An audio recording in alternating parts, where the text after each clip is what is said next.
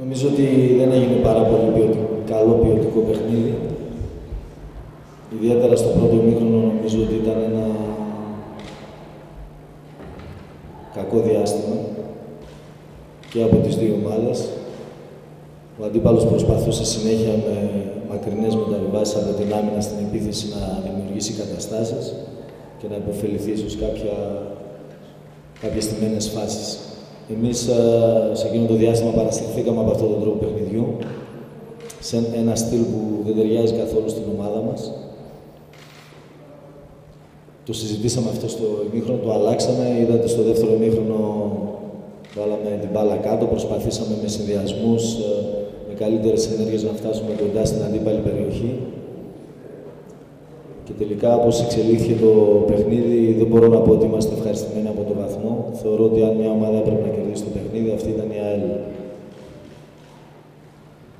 Υπάρχει βέβαια το ελαφρυντικό και για τις δύο ομάδες ε, της πρώτης αγωνιστικής, των κακών καιρικών συνθήκων. Είχε πολύ ζέστη το παιχνίδι και είναι φυσιολογικό να μην μπορεί να υπάρχει καλός ρυθμός. Ε, όμως αυτό που θα πω για την ομάδα μου είναι ότι χρειάζεται ακόμα πολλή δουλειά και πολύ μεγάλη βελτίωση. Ξέρετε πολύ καλά τα προβλήματα που είχαμε. Δεν ε, μπορέσαμε όλο αυτό το διάστημα να δουλέψουμε σαν ομάδα. Πιστεύω ότι σιγά σιγά και με την πάροδο του χρόνου να αρχίσουμε να βρισκόμαστε καλύτερα μέσα στο γήπεδο και να παίξουμε πιο ποιοτικό ποδόσφαιρο.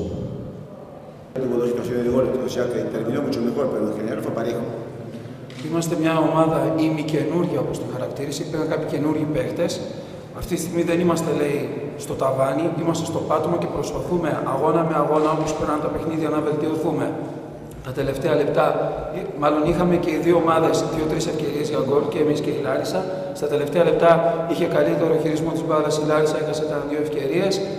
Είμαστε ακόμα σε εξέλιξη. Mejor la pelota Larissa, pero en situaciones claras creo que tuvimos los dos igual.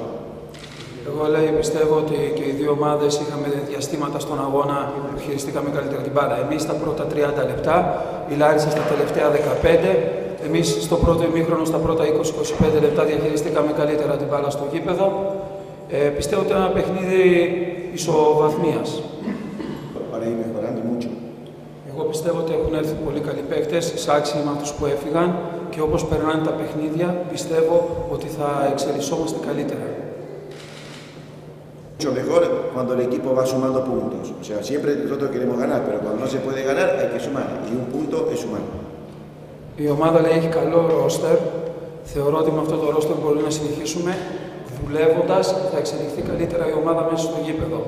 Ε, το ζητούμενο είναι να παίρνουμε τους τρεις βαθμούς. Αν δεν μπορούμε, ο ένας βαθμός είναι πάρα πολύ σημαντικό σε κάθε παιχνίδι.